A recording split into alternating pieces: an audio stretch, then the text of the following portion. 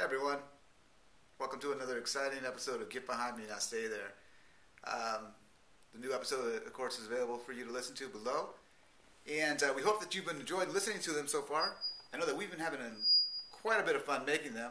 A little technical difficulty there, a little feedback. Now, if you have feedback, I would encourage you to use the uh, comment section.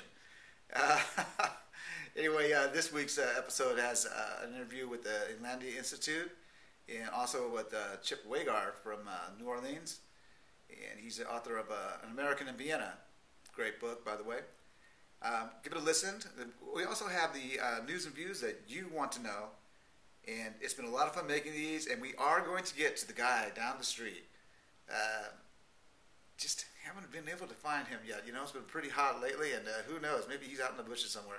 But we will get to that. And once again, you know, thank you so much for listening. Uh, we're available on KSKQ 89.5 FM here locally in Ashland, Oregon.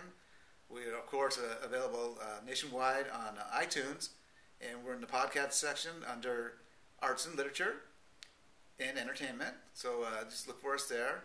And of course, you can hear it here on justimagineitink.com. So in the meantime, hope everyone continues to have a great summer. I hope you're all having a major league day. As you know, we always want to wish you that. And just don't forget to get behind me. Now stay there.